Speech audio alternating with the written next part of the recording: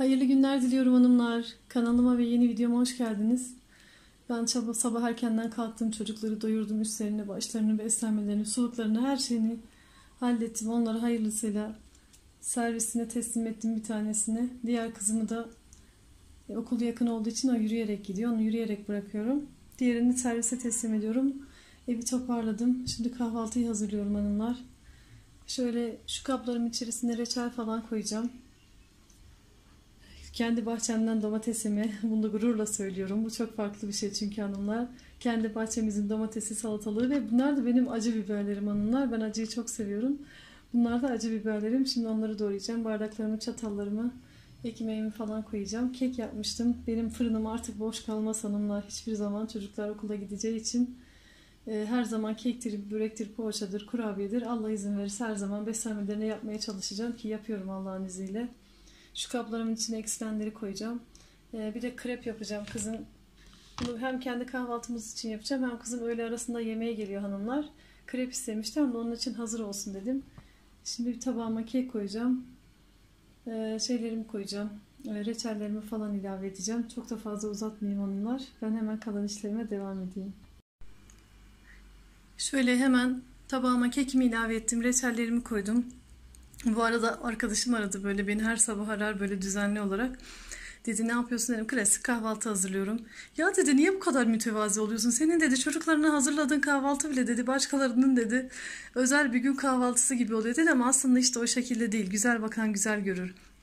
Ben alışmışım bu şekilde kahvaltı kurmaya. Ben de böyle dört dörtlük kahvaltı kurmuyorum yani. Bu şekilde uğraşmayı seviyorum. Elimden geldiğince benimki de bu şekilde oluyor. Daha muhteşem kahvaltılar da var. Arkadaşım bana kızıyor ya diyor bu kadar mütevazi olma diyor. Çok özeniyorsun, çok şey yapıyorsun diyor. O da hoşuma gitti. Yalan diyemeyeceğim ama ben de kendi çapımda böyle elimden geldiğince bir şeyler yapmaya çalışıyorum işte hanımlar. Ee, ben hemen çayım demini aldı. Bugün kızartma yapmayacağım hanımlar. Bugün tereyağda yumurta pişireceğim. Ortaya ve da tabakların kenarlarına şöyle koyacağım. Çocuklar yok. Yeşim'de ikimiziz. Küçük oğlum var. Ona da küçük bir tabak hazırlayacağım. Krevimi yapacağım. Çayım demini aldı. Biz kahvaltıya otururuz 5 dakikaya.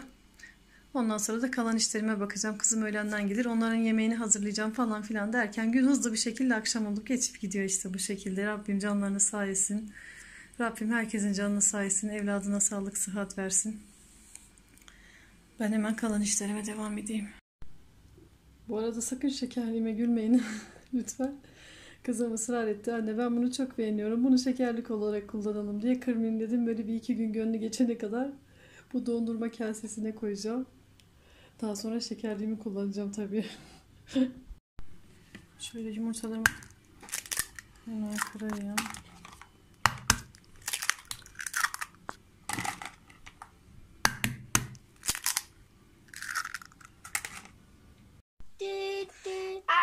Arkadaşlar bunları Nurcan teyzem bana aldı.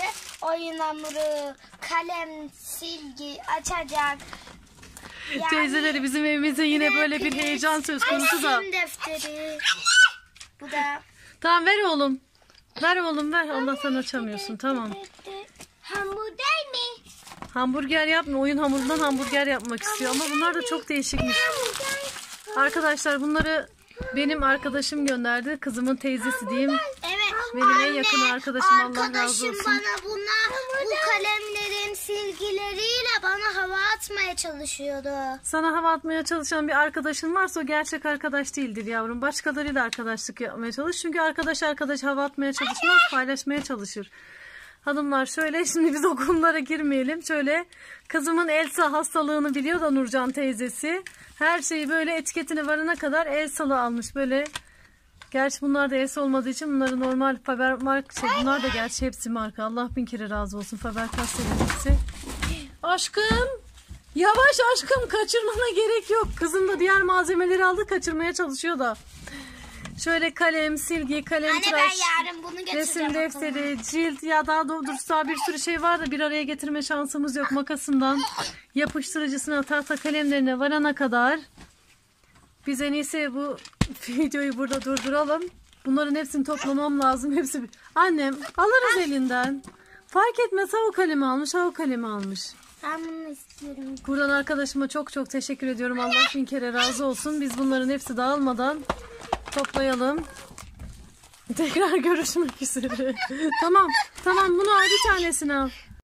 Nurcan teyzeciğim seni çok seviyorum. Çok teşekkür ederim bunlar için. Seni çok seviyorum. Buradan ellerinden öpüyorum. Nurcan teyzesi senin için çekmek istedi bu videoyu. Ben de kırmadım. Çektim ellerinden öpüyormuş teyzesi. Burada paylaşamıyorlar bu arada teyzeleri. Neyse tamam mı annem artık yeter bu kadar. Biz her şeyi bir araya getirelim artık ha. Tamam. Onları ver. Onları ver sana göre kalem vereceğim. Al bu senin olsun oğlum. Onları bana ver. Onlar tüyleri Anne ben de dökülmesin. bunları alabilir miyim? Onların hepsini topluyoruz şimdi annem tamam mı? Şöyle iki poşet bahçeden toplamış olduğum fasulyelerimi haşladım. Buzluğuma kaldıracağım. Bunu da fasulye kavurması için buzluğuma ayıracağım. Kızım geldi bu arada. Tamam çal annem çal. Bunları sabah kahvaltısı için ayırdım. Ee, eşim sabah kahvaltısında fasulye kavurmasını çok seviyor. Yapıyordu. Ben de ondan alıştım. Bunları onlar için ayırdım.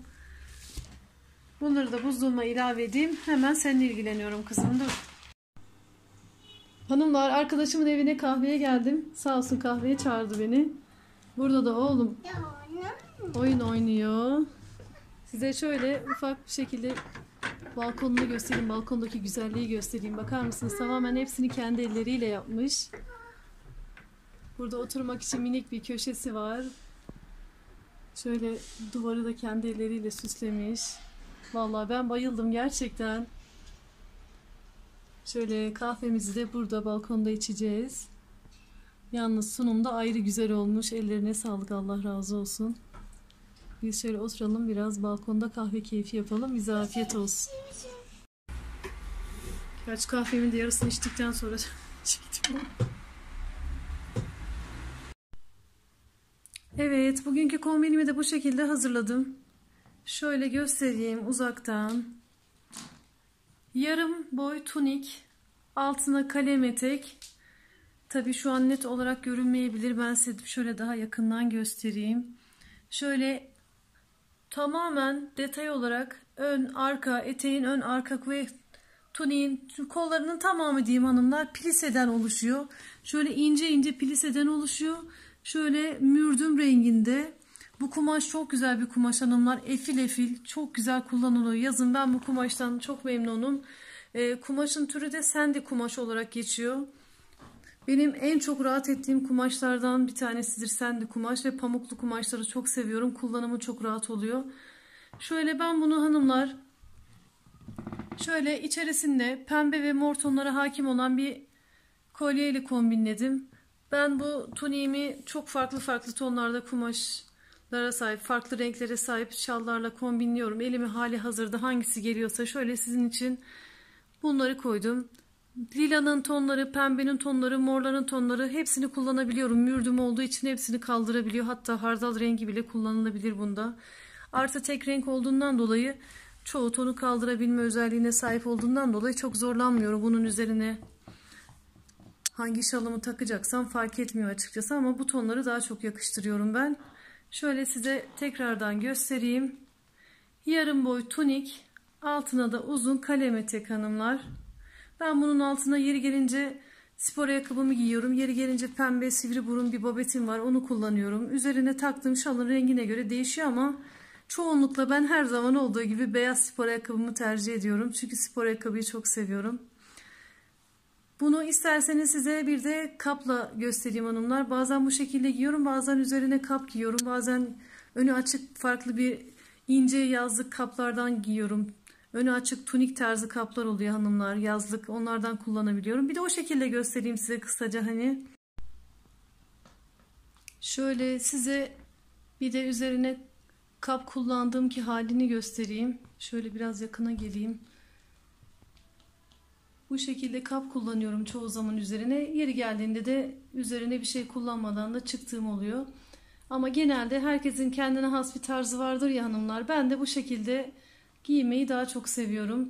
Çünkü herkesin kendi bedenine, e, fiziğine uygun olan bazı kıyafetler vardır. Hani her kıyafet herkese yakışmıyor çoğu zaman. O yüzden insanın en güzel şeyi kendine yakıştırdığı Kendi beğendiği, kendi sevdiği şeydir elbette. Ona şüphe yok. Ben de bu şekilde giymeyi çok seviyorum. Ee, bu takımımın üzerine yeri gelince siyah, beyaz, mor tonlarında bazen bu pembe kapımı kullanıyorum. Hali hazırda hangisi varsa onlardan bir tanesini takıyorum. Hemen elime hazırda bu geldi. Bunu göstereyim ben de size dedim. Şöyle bunun üzerine farklı farklı tonlarda şallarımı takıyorum. Şimdilik bunları koydum. Bunun üzerine pembenin, morun, mürdümün tonlarında her tonu kullanabilirsiniz. Sade renkler olduğu için her şeyi kaldırır. Şöyle. Bugünlük de benden bu kadar olsun. Umarım beğenirsiniz. Ben çok severek ve beğenerek kullanıyorum. Oğlum kolye getirmiş bana teyzeleri. Bunları bunları da koy diye ama oğlum tamam yeter diğerlerini getirme. Hanımlar bugünlük de benden bu kadar olsun. Bir sonraki videoda görüşmek üzere. Kendinize çok çok iyi bakın. Hoşça kalın. Allah'a emanet olun.